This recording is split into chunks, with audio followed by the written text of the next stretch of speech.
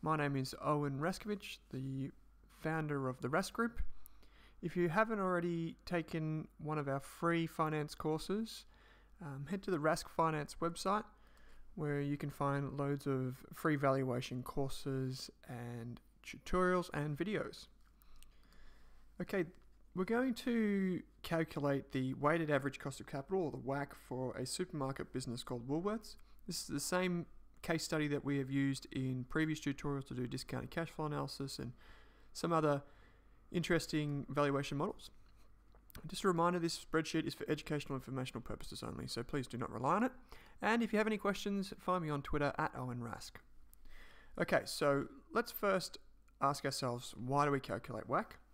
So the WACC tells us how much it costs to get funds from investors, whether they are debt or equity investors, and it is used to discount future cash flows. Going back to our discounted cash flow analysis, we forecast cash flows into the future and then we got the net present value of those cash flows.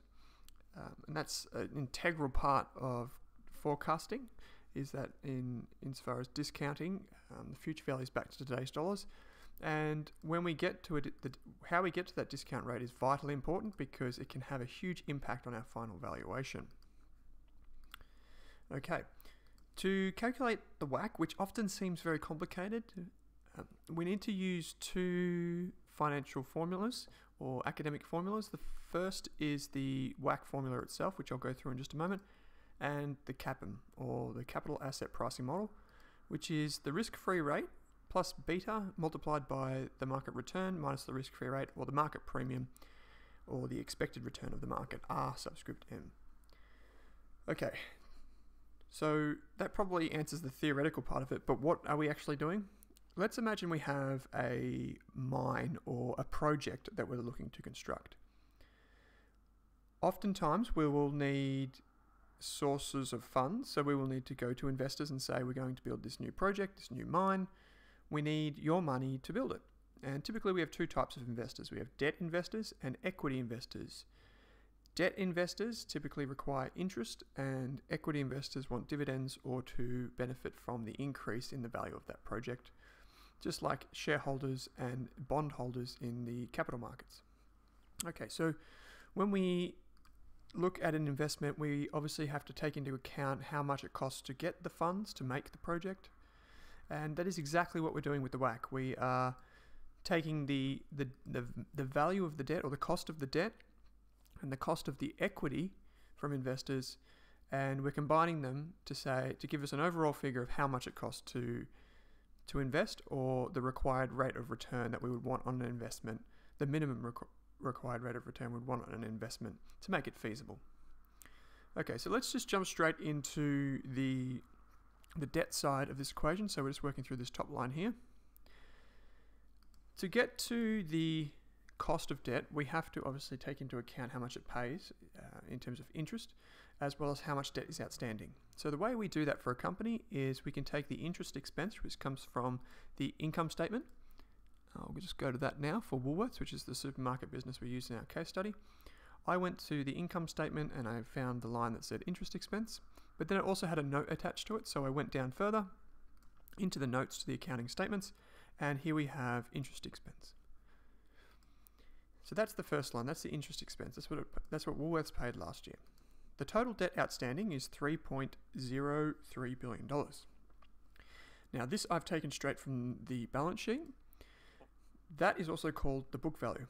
When you get a finance textbook, it will say to not use the book value or the amount in the financial statements because obviously debt can change each year, but also the the repayments on debt can also change each year. For example, if Woolworths had many different types of debt, you would have to find the yield on that debt or the interest rate uh, applicable to each individual piece of that debt and then add it all together and work out the weighted cost of that, that debt. Instead, to keep it simple, I've used the book value, taken it straight from the balance sheet. So this is debt straight from the balance sheet. You could, to make it a bit more robust, you could um, get the average of last year's value or this, this financial year, the starting value from this financial year and the ending value of the financial year. Or you could even use the target structure. So sometimes uh, finance textbooks will say the company has a targeted debt capital structure of 40% and 60% equity, and then you would use what you're given in the, in the textbook. In real life, it is very hard to find the market value of debt, or at least I found it very hard to find the market value of debt. So I just use the book value and make sure that there's no recent announcements um, with the company saying that it's going to take on double the amount of debt or cut its debt in half. Just so I know um, roughly what the debt's going to be, I can work out the cost of debt. Okay. The next line is simply the interest expense divided by the debt. So this is the interest rate on the debt. You could, if you know the interest rate on a piece of debt, you could jump straight to this step. So it's simply 231 divided by $3.03 billion. The tax rate in Australia is 30% for this company. So we adjust the the interest rate on the loans and the debt because interest is typically tax deductible in most, most countries around the world, including Australia. Uh, so how do we do that? We just multiply the interest rate that we calculated up here, which is 7.62%, multiplied by 1 minus the tax rate. Oops. And that gives us 5.34%. So what we've calculated there, this is the cost of debt after tax. That's what this is right here. The, the market value of debt we've assumed here is $3.03 billion. So all we need to get to now is the total capital. But I'll get to that in just a moment. We're going to move now into the next part of the equation, which is the cost of equity. The way we get to cost of equity is we use the CAPM, or the Capital Asset Pricing Model. If you've done financial theory before, you'll be very familiar with the CAPM, although it may not make sense why we use it or if it's even practical in real life. One of the th inputs in the capital asset pricing model, and I've written the formula out here, is the beta, which is his historical rate, um, something to do with volatility or the ups and downs of an investment relative to the market. I've written uh, just jokingly beta R. Um, I have a few reservations about using beta for my investing. In fact, I do not use it at all. Um, I use it sparingly, perhaps, in this type of calculation in the weighted average cost of capital, but even then, my reliance that I that I place upon it is very limited, partly because it is historical. But I shouldn't labour on this point. Just know that this may be a very subjective or um, not very relevant going forward. So I would place little emphasis on it. So that's the beta. We can get that from, you could even get that from Google Finance, from Yahoo Finance, from your broker, or you could go on to something like Thomson Reuters or Bloomberg, and you'll be able to find the beta for the company that you're valuing. the risk free rate this is the rate that you could invest your money for theoretically or academically, no risk at all. So long term bonds um, are generally the, the proxy that we use here. So where do we get this from? Generally, we look at the central bank um, that we're so the country that we're valuing. We look at the, the the country, the company that for the company that we're valuing, we'll look at the interest rate applicable to that country, wherever that company is located. So if we're investing in Australia, we might look at the long-term bonds for Australia, and we might say, okay, here's a screenshot from Bloomberg. The yield on Australian bonds are 2.63%, on 15 year bonds it's 2.78%. So we could put that value in here if we wanted to. However, I've opted to use 3.5% simply because the interest rates in Australia are at historic lows. And I don't think that's very conservative to assume that the historic lows will continue forever. Therefore, I've used a 3.5% risk free rate. If you're in the UK, you could use LIBOR, or if you're in the US or North America, you could use the federal funds rate or the treasury, the uh, yield on treasuries. The market risk premium requires us to do a bit of uh, reverse engineering. So how do you get to that? We often we're given this in finance textbooks, but in reality we generally have to calculate this for ourselves, and it's a very important assumption. So the market risk premium can be found by looking at the historical return of share markets and the total returns I'm talking about here, so dividends plus share price gains versus the risk-free rate. So I went back and looked at the ASX 200, which is Australia's leading share market index. I looked at the total return from the ASX 200 going back about 30 years. And what I found was that depending on where you are in the cycle and where you take your reference point, the Australian share market has returned between 8 and 10% per annum on average. Now, if we assume that the market is going to return 8.5% per year going into the future, then that means that the premium or the excess amount over what the risk free rate is is 5%. So, in other words, we're getting 3.5% from the market. We're saying the share market is going to return 8.5% into the future. So, the difference between the two is 5%.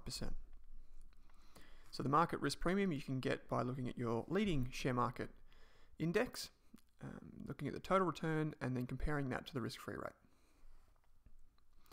So total equity for Woolworths is the market capitalisation or the share price multiplied by the shares on issue. Once again, this is not book value, but it is the market value. So similar to the way we would use debt if we had it available, the market value, we use the market value of the equity in the business. Because obviously equity is the other part of the funding that we're using for our business.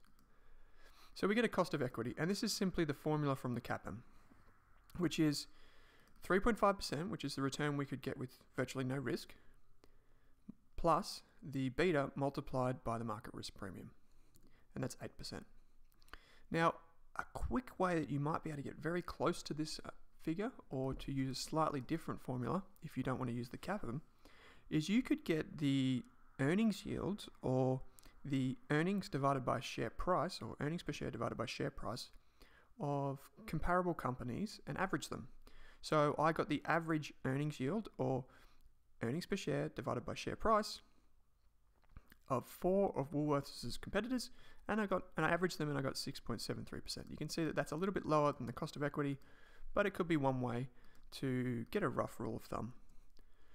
And what are these so what are these things telling us? We know from up here that the 5.34% is the after-tax cost of the debt that we use. So that's what we need to pay debt investors essentially to get their money. They would take a 5.34% return after tax, or 7.62%, sorry, I should say. They would take a 7.62% return and give us $3.03 billion. And we could use that for whatever we like. Looking on the other side, we have the cost of equity. And it's the same thing. We're saying what would shareholders or share market investors, who are equity investors, be willing to accept for us to for them for us to get their money? And the return is eight percent. So we're saying the cost of having shareholders is 8% per year, the theoretical cost. Obviously, we don't need to pay them anything each year, that's just the theoretical cost. So, this is probably all starting to make sense now. We've got two, two sources of capital, and we've got the amounts that, that make up the company. So that gives us total capital of $43.38 billion. As a percentage, it's almost 7% in debt and 93% in equity. So all we have to do to get to the weighted average cost is simply multiply the cost of debt after tax by the percentage of debt and then the cost of equity multiplied by the percentage of equity. For the weight, for the weighted average cost of capital, just add them up. That's as simple as you like. So the 7.81% is Woolworths' weighted average cost of capital. Now you might get a slightly different figure to me or someone else, or you might look at a broker's report and you get a slightly different value. And that's because all of these inputs are subjective.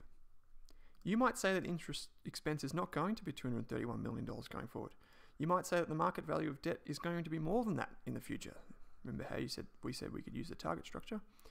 So therefore we might get a different percentage here and we might ad- adjust for a different tax rate, which gives us a different cost of debt after tax. And the beta, we might say, well, that's that beta is too low or too high, and we might adjust that beta. The risk-free rate that you've assumed is too low. Let's let's take out the cycle effects. Or the market risk premium is too rich. It's actually not going to. The share markets won't return that much going into the future. All of these inputs have an effect on the final weighted average cost of capital, which means that we're already injecting a lot of our opinion and a lot of subjectivity into the formula before we've even got to creating forecasts for cash flows or, or debt or earnings or profit or anything of that nature. So you can see why many analysts simply use a fixed rate. Oops. They might say, you know what? To hell with the WACC, let's just use 10% a year, or let's assume that we need at least a 12% weighted average cost of capital to pursue an investment. Okay, I hope you didn't get through that, tr- through that tutorial and then think, oh, it's all worthless. This is an important part in financial theory, and understanding it is crucial because you need to understand and scrutinize other investors' valuations. And if they're assuming too high of a weighted average cost of capital, then they might be overly conservative. If it's too low, then they may be a bit too bullish. For example, let's assume that this discount rate was 5%. You can see what happens to the valuation of Woolworths shares here. Look at that, it more than doubles. Even though we've only dropped the weighted average cost of capital from 7.75% to 5%, which is, say, a 50%, a 30% decline, the valuation grows more than 250%. Conversely, if we go the other way and we say we have a 10% discount rate, the valuation doesn't quite cut in half, but it falls substantially. So you can see that the final discount rate you use has a huge impact on valuation.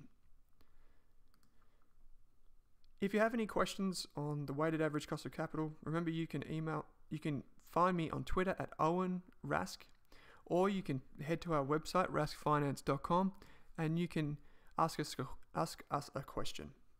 I hope this tutorial helped you, and I look forward to seeing you again soon. Cheers to our financial futures.